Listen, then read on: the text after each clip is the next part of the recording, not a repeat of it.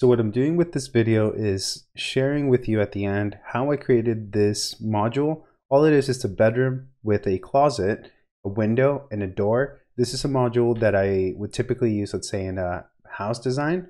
But what I wanted to show here is how I took this into 3D and then how I can dimension this using Grasshopper. So that's what I'll be showing is taking this into Grasshopper to create the dimensions without having to dimension it kind of like I did here. We'll do it fully parametric. So what I've done here is once I had it drafted, then I created it here in 3D. But now I can hide all of the 2D drawing, which is basically the drafting portion. And now I can take this, I'll go here into Grasshopper, go to a BREP. This is an empty BREP component, which means that we can set any of our Rhino geometry into it. So we'll select this. We'll go here into BREP, right click, set multiple BREPs. And as soon as it turns green, when you select it, we know that we brought it into Grasshopper. So we can take all of this and hide it and see that we basically brought this module into Grasshopper. Now here's a tip that you may not know. If you want this module always inside of this, not necessarily referencing it, you can internalize data. So you can go here to internalize data and it will actually, let me show you here. So I'll copy this. I'll go here to internalize data. And now we can type in show and take this and delete it. And this is going to now be empty, but this has all the data that we had before we deleted it inside of this BREP. And this is one way that we can bring in geometry from Rhino into Grasshopper and technically bake it into Grasshopper without having a reference. So with this, this is just a simple trick where you can take this module and you can leave it here fully parametric. Or let's go here to show. This is more than anything, or undo. More than anything showing you a tip when you bring something into Grasshopper that you always want to keep that without referencing. So we can take this and just delete it. Now let's get into the idea for the tutorial. So now that we have this, now we're going to dimension it. Now to dimension this, we need the curves or the line segments, and we don't have any arches or arcs or splines or non-linear lines, which means it'll make it a lot easier. Not that you couldn't do it if you have that, you just take a different approach. With this, we'll go here to BREP, select it. Now let's go to deconstruct BREP. And now we don't necessarily have to use this component. There are other ones, but this will explode all of that information into faces, edges, and vertices because that's all this is. These are just points, planes, lines that create this geometry. Well, now we've technically here using deconstruct BREP, we're going to explode it. Now we can pick any of those spaces, edges, and vertices, and we can go to list item to pick a specific one. Either one of the vertices, this one. Let's go here to 15. So we can go and change through the points. Now here it's dashed line, which means that it's grafted. If we flatten the input, we can just pick one of them and cycle through them using this slider. We can do the same thing with the faces or with the edges, which is what we'll be doing. Every single one of the line segments that exist within this model can be selected. And same with the faces. So we can actually get an area of each face. So with this being said, we're going to take the edges, which are the line segments. We're going to extract them using an empty curve component because when we use deconstruct BREP, we have all the faces, edges, and vertices all in this component. And now we just want to extract the edges and disable the preview on everything else. And so now that we have all the line segments, well, all we need to do is plug this curve output into a dimension or line dimension. So we'll take those curves into the line dimension and now we need to change the size and also flatten the input. So you see that they come in dashed, which means that they are grafted. We can flatten it to make sure that it's all in one long list. And now here, we'll change the size. We'll go to 5.500. So we have a few decimal points to make it more subtle. And so now here we have all of the dimensions for the entire bedroom.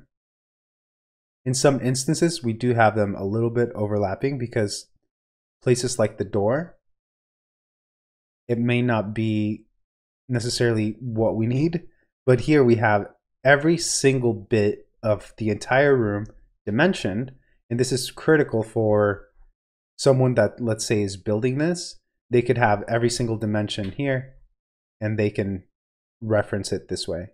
We can also go to top view.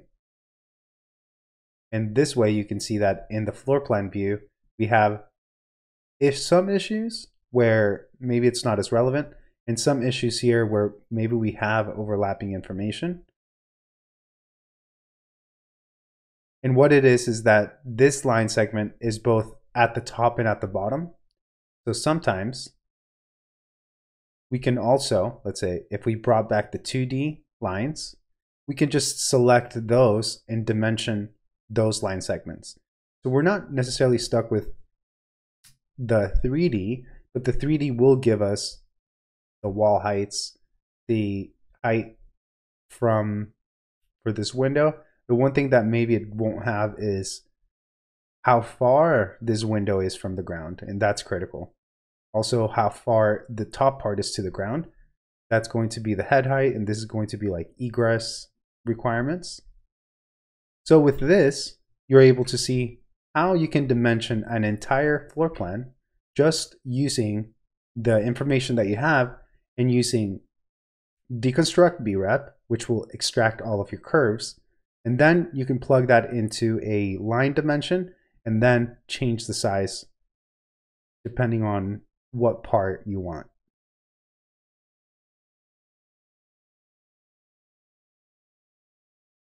So at this point, now that we have the dimensions, let me show you another trick. This is more for diagramming. So if we take this, disable the preview, we'll bring back the line work.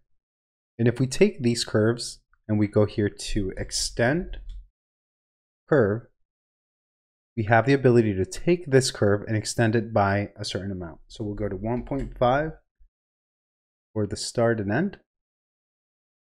And so now this gives it um, overlapping look here to all of your line work here.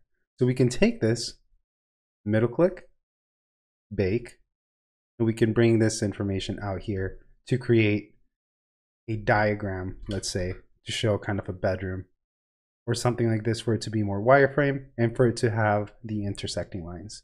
So those are a few tricks here that I wanted to share at the end. The most critical thing is going to be for the dimensions. It's going to save you a bit of time um, to show the exact accurate dimensions of whatever design you have. So thank you very much for being here. Hopefully you found that useful. Let me know if you have any questions and I hope to see you on the next one.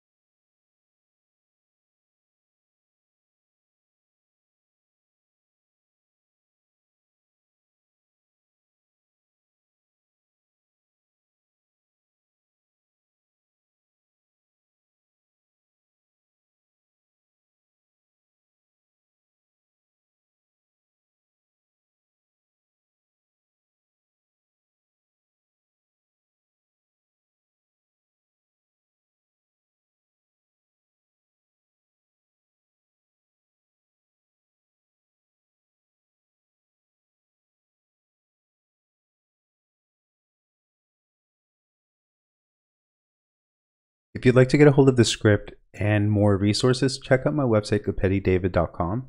When you become a Scriptball member, you can access all of the scripts from the past and future scripts. So thank you very much for being here. Hopefully you found this useful, and I hope to see you on the next one.